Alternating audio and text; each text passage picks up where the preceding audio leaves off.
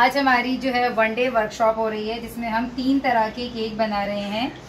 बेंटू vanilla cake है chocolate cake है और एक है ब्लैक फॉरेस्ट पेस्ट्री तो वर्कशॉप वन सा वीक होती रहेगी, इसमें ज्वाइन करने के लिए फिर व्हाट्सएप पे जो है कांटेक्ट कर सकते हैं, जो भी आना चाहें, ठीक है?